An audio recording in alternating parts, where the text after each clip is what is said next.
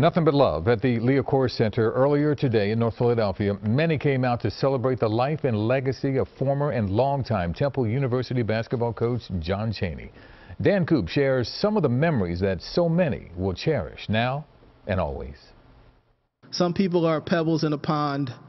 You were a boulder in the ocean. John Chaney's resume hangs in the rafters of the Liacouras Center, but that's only half his story. Look around at the banners in this arena and you can see just how successful he was.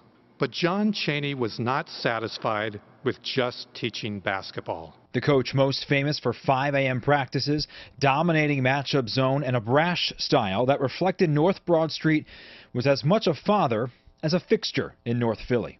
And that's to me what good fathers do. They teach you. They don't tell you what you want to hear.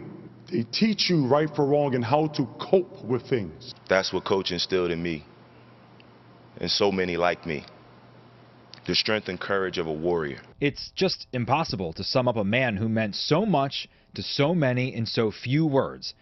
But when you can rely on Dawn Staley, John Calipari, and Chaney's successor at Temple, Fran Dunphy, like coach, you win. If there is another combination of coach and university that fits better than John Chaney, and Temple University, I don't know it. One of the best stories of the afternoon wasn't even from a basketball player. In fact, it was from Chaney's son-in-law, who says when he asked Chaney for his blessing to marry his daughter was right after the John Calipari incident in the 90s. He said when he walked up the staircase to Chaney's bedroom to ask the question was the scariest moment of his entire life. Outside the Liacouras Center, Dan Koob, CBS 3 Eyewitness News.